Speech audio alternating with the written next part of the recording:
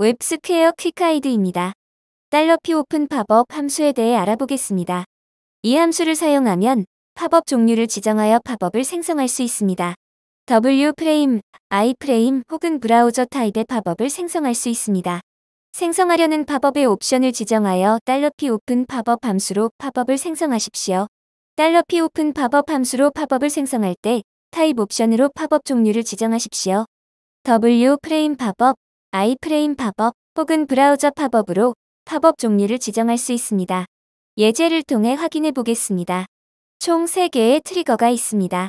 그리고 각 trigger에는 onclick 이벤트가 걸려 있습니다. 각 trigger를 클릭하면 dollar p open popup 함수가 실행됩니다. 첫 번째 trigger를 클릭하면 W frame 팝업을 dollar p open popup 함수가 생성합니다.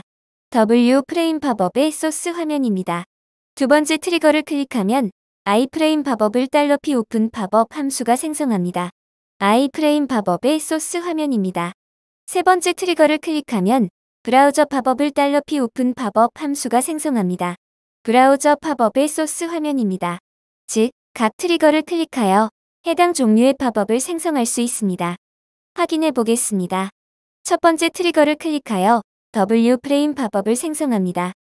웹스퀘어의 WFrame을 사용하여 생성되는 팝업으로 페이지의 일부로 생성되어 개발자 도구를 보면 div 태그로 생성된 것을 확인할 수 있습니다. WFrame 팝업은 브라우저 밖으로 나갈 수 없습니다. 두 번째 트리거를 클릭하여 iframe 팝업을 생성합니다. iframe 팝업은 페이지와 독립적인 개체로서 iframe을 사용하여 생성됩니다. 실제 개발자 도구를 확인해 보면 iframe 태그로 생성된 것을 볼 수 있습니다. iframe 팝업도 WFrame 팝업처럼 브라우저 밖으로 나갈 수 없습니다. 세 번째 트리거를 클릭하여 브라우저 팝업을 생성합니다. 브라우저 팝업은 별도의 브라우저 창을 사용하여 생성되는 팝업입니다.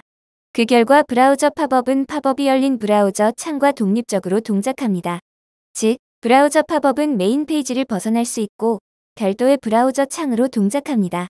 웹스퀘어 quick guide를 시청해주셔서 감사합니다.